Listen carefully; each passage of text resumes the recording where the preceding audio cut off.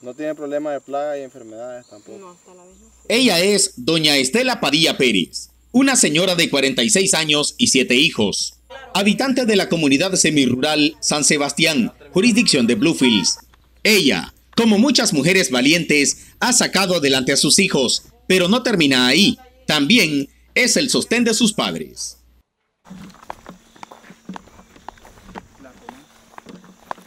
Estela aprendió a labrar la tierra, pero ahora no está sola. Cuenta con el apoyo gubernamental para continuar adelante, ya que el gobierno regional le tomó en cuenta para ser parte de un proyecto de cacao, así como la plantación de árboles frutales. Los han enseñado, en primer lugar los enseñaron cómo preparar el terreno. En segundo lugar los enseñaron para la forma de, de sembrarlo, las calles, para sembrar, este, ahorita sembramos el plátano, luego que vengan las plantas de cacao, se siembran en, surco, sí. Y yo pienso era que eso les va a servir de mucho. Sí. ¿Familia grande? Sí, yo cuido a mis papás, ellos no trabajan, hay que mantenerlos.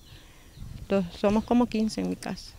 La familia confirma que es una restitución de derechos el que la hayan tomado en cuenta y eso lo agradecen mucho. Sí, este, nosotros la hemos apoyado en lo que hemos podido y pues ella, ella este, ha sabido trabajarlo bien hasta el momento. Yo veo que ella se ha empeñado y este, ha, tomado esa iniciativa de, producir y de prosperar. Me siento agradecida mucho por, por nuestro gobierno, que él se acuerda de apoyar a los campesinos, digamos los productores, ¿verdad? Porque los productores, si nosotros ahora no tenemos la semilla, nosotros no podemos producir.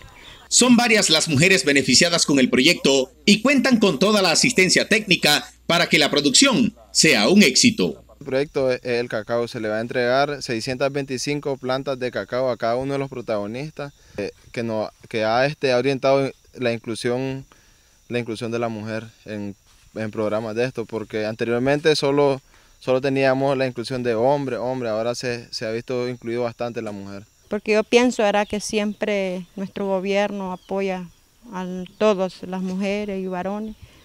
Tenemos derecho también nuestras mujeres, sí, de trabajar y de tener sus cosas. A doña Estela Padilla Pérez se le estará entregando semilla de cacao para aproximadamente una manzana una vez produciendo, aportará a la economía de su familia y a la economía del país.